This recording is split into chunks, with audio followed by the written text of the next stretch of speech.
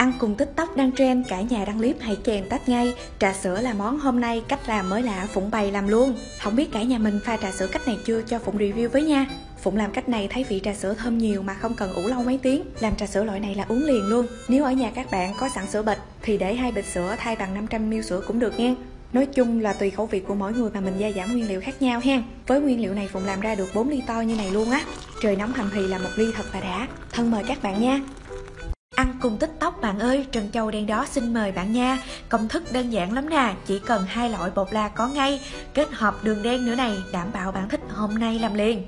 Phụng kết hợp 100g bột năng và 10g bột cacao Nhà mọi người có cà phê hay Milo thì cũng có thể thay thế được nha.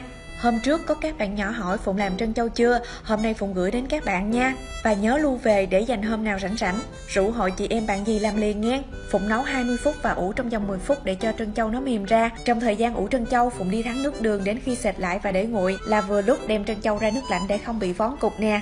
Bây giờ thì Phụng cho trân châu trộn chung với nước đường là có thành phẩm rồi ha. Các bạn có thể kết hợp trân châu đường đen với các món mình thích nha.